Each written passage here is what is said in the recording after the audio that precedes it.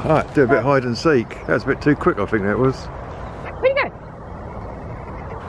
Go get him. They'll find him. They'll find him. Gone in that way, has he? I see his tail. It is. Oh! You just jumped over that. I saw that. Can't see him at all now. He's disappeared. Don't really see. Here he is. Where'd he go? Where'd he, where'd he go? He found him yet. That's unusual. Going for a second go. He's got to be here somewhere. I can smell him.